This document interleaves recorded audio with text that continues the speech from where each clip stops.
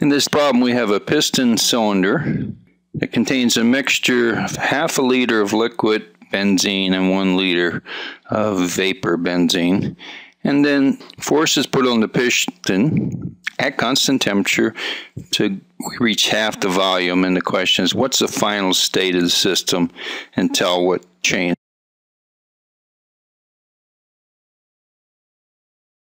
So first let's look at a drawing because I think it helps visualize what's happening. So in the drawing we start out with a half a liter of liquid, one liter of vapor benzene, and we push down the piston until the volume is half of the initial volume.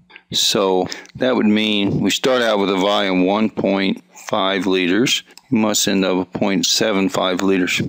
Well, the liquid was 0.5 liters.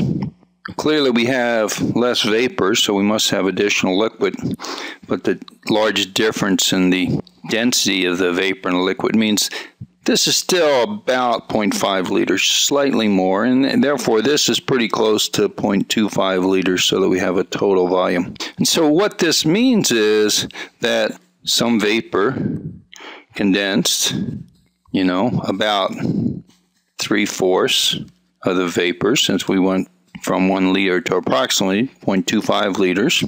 And the liquid volume increased marginally, but we're still at vapor liquid equilibrium because we have two phases and the temperature was constant. So that means we're at the same pressure, we're at saturation pressure.